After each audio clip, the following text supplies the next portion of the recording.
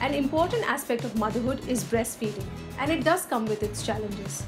A recent study shows that more than 90% women have breastfeeding challenges in the first few months post delivery.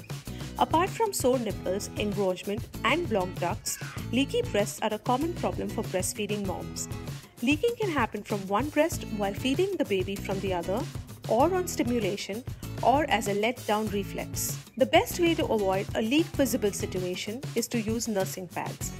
I was recommended Medela's ultra absorbent disposable nursing pads to keep dry, especially during the night.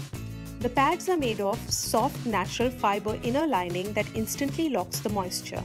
The outer layer is breathable and waterproof that avoids transfer. The design ensures a good fit while the adhesive straps secure placement.